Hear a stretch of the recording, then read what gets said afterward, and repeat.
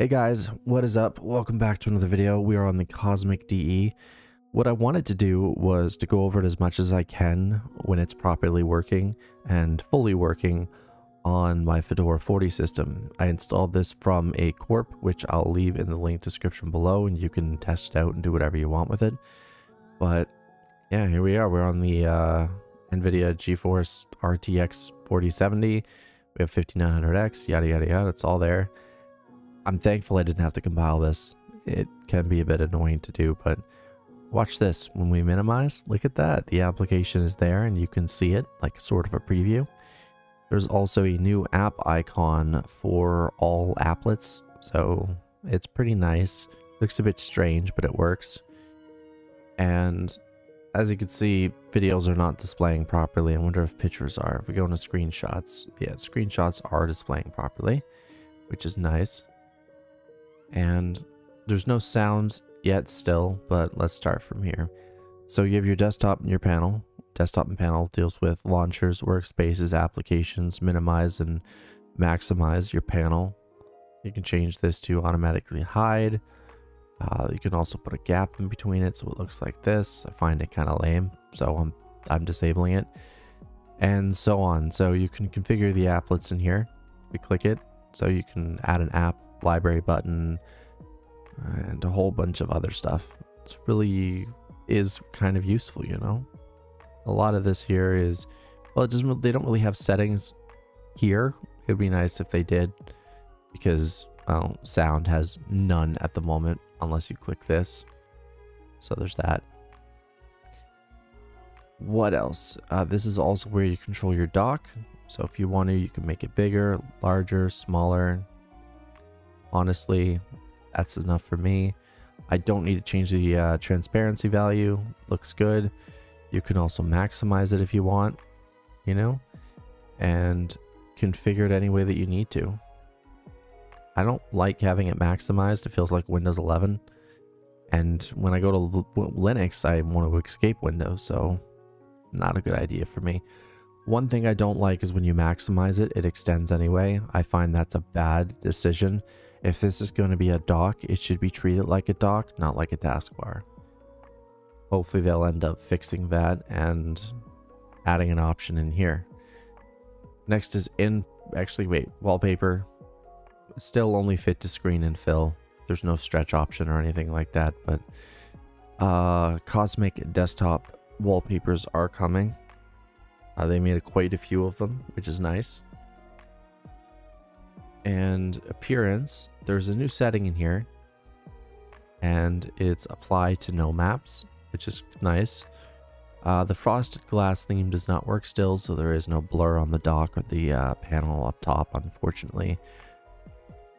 But if we went and enabled this, this is actually working here. We could uh, reduce the size of the gap completely or keep it at 5. The window hint is kind of a dated concept, but you can disable it completely if you need to. Oh, and look, it allows you now to change your icon themes. So now I can actually switch to Numix Circle if I wanted to, but I don't really think it applies because, yeah, let's try that. We'd probably have to log in and log out to get that apply. Let's try this. Open it back up. It seems to not be working at the moment. It is what it is, right? Uh, let's switch back to Cosmic and try again. Yeah. So it's not working at the moment, but they are planning allowing you to trade your icon theme, which is nice. So this entire area is pretty simple. Uh, this controls your theme in the background.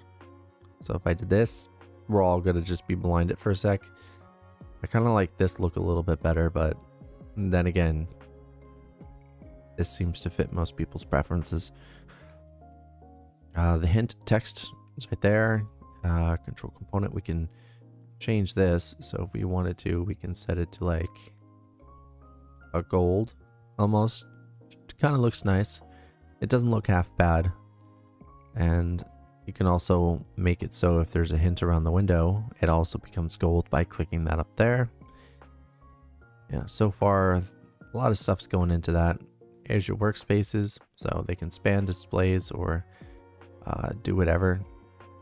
I believe there was a button I realized. I can't figure it out no more. But, uh, I just like, no. Let's try to open something up here. Yeah, I guess not. I'm trying to figure out how to like switch displays and stuff, but I know. Oh, oh, what was that? I don't know what that does, but it's a thing. Anyway, uh, moving things from one window to another works again, which is nice. So it's again, it's the shift, win, and then arrow keys. Yay! I'm glad that that works. Show number and workspace name. So I'm going to leave those disabled because I don't really like workspaces at all. Uh, we went over that. We went over workspaces. Your notifications are basically blank. There's nothing in there. For input devices, this is what you get. And you got shortcuts, but they're not there yet. And for mouse, you can switch left click, right click, and mouse speed. Also enable mouse acceleration, disable natural scrolling. For touchpad, this is it right here, but uh, these don't work. I tried them on my touchpad on, well, my laptop version of Fedora, and they did not function at all. So even if you turn them on, didn't work. But it's looking pretty good so far. Next is displays. And there's a bug right now where I cannot go to 165 hertz and I don't know if they have VRR or not. It says there's VRR in a config, but I've tried it and it does not function. And then there's this. I doubt it's implemented at the moment, but it's good to know it's coming. Once again, there's nothing in sound, time and language, so your date, so on, time zone.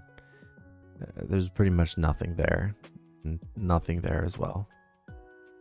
So yeah, uh, it's bare bones at the moment in settings, but it does what it does, which is nice.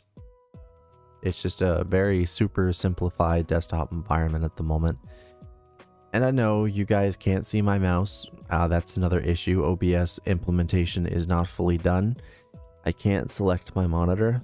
So when I go do videos like this, I have to unplug two monitors, plug them right back in, and then OBS is on the right window. It's unfortunate, but it is what it is. Now these applications, so this application, the terminal is complete at the moment. And, you know, bunch of stuff in here. I don't think the settings of every application matters, but you, know, you have light and dark. You can also import a theme if someone else makes a theme. There's your settings to match your desktop change your header, everything like that. What does this do? Oh my god, we can go headerless. Wow, that's pretty good. Uh, too bad we can't change the size of the header. It's a little bit too big for my liking. Advanced settings? Interesting. Ooh, that's a good setting. I like that. That boosts the brightness a lot. As for this, I would consider this extremely incomplete at the moment. Sure, Control H hides and shows files. Uh, are we able to copy and paste yet? Let's try this one because you're the lightest. Paste. Okay, good. Drag and drop. Where'd it go? So we're to click, drag. See, drag and drop is not implemented yet. What about you? Can I drag you to you? No, I cannot. So that's unfortunate. There's very little about this at the moment that works, I guess. But it is what it is. And it's currently work in progress. So I kind of can't fault them for that. You know what I mean? I've been testing some mods, which has been nice. Okay, Let's move on to the next application, which I believe was the store. I want to see if anything's changed in there. Cosmic Store got a new app icon. It looks really strange, but I mean, I can just hit favorite and put that there. It, it suits the dock a little bit, but I prefer the GNOME uh, one instead because, I don't know, it just feels more organized. Yeah. There you go. You can search for apps. Like, uh, oh, it's there. Not there either. What about in here? Nope. I don't think the store really works out too well. It just shows a basic, you know, list of applications and calls it a day. I'm not sure what else to show you really. I mean, there's not much else. I don't like the fact that these show up in the menu at all. I mean, they should be private, like hidden, because it just looks messy. There's your about page right there. That looks pretty cool nonetheless. So again, when you minimize, your app's minimized to the dock, which is nice, and you can have multiple multiple versions minimizing to the dock. And it actually looks pretty cool. I'm going to minimize OBS to the dock. And uh, I don't know if it's actually going to continue playing when you do this, but if it does, that's pretty good. Command not found. I have installed and it's like command not found. So Ragings doesn't work with this, which is unfortunate. Hopefully they'll figure it out. X open display failed. So just copy that and pop that in here. Let's see what pops up real quick. There's just a whole bunch of man pages. What do we get when we type in Fedora? What is this? No, there's nothing really important in here about that. I guess Raging just has issues at the moment on the Cosmic DE, but here's the cool part. As you can see, this works. I haven't updated this in a while though.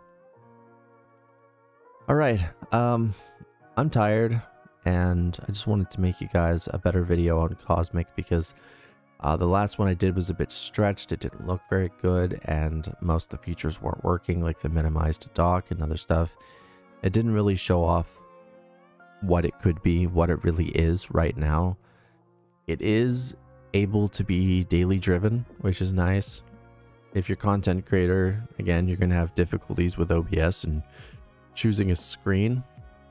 But besides that, you won't really have much else. Thank you guys for watching. Uh, subscribe, like the video, share the video.